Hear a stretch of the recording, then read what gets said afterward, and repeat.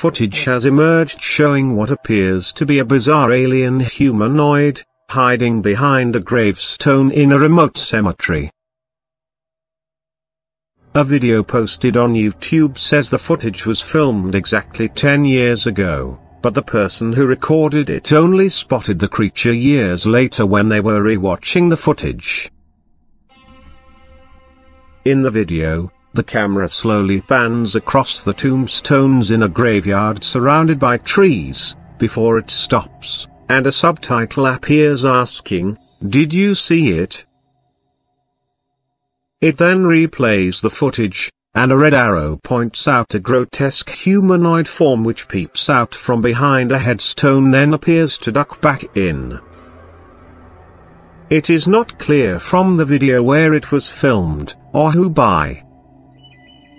The video then shows the creature with green and grey skin, in close-up after being zoomed in on by 500%, and slowed to 3 frames a second. The video ends on the question, what is it?